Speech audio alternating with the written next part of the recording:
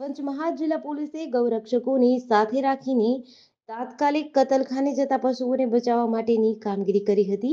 જિલ્લાના મોરવા હડફ તાલુકાના સાલિયા ગામ ખાતે પોલીસને મળેલી બાતમીના આધારે ડીવાયએસપી સહિત એલસીબી, એસઓજી તેમજ પોલીસની અલગ અલગ ટીમો ગૌરક્ષકોને સાથે રાખીને રેડ કરીને સ્થળ પરથી પચાસ જેટલા ગૌવંશને બચાવી લીધા હતા.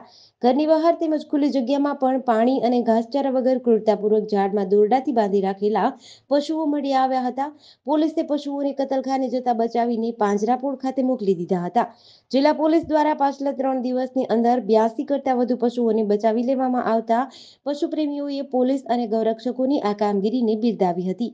જોકે પાંજરાપોળ ખાતે પ્રતિદિન પશુઓની સંખ્યામાં સતત વધારો થઈ રહ્યો છે. જીડીસી ન્યૂઝ સાથે પાર્થિવ દરજી, પંચમહાલ.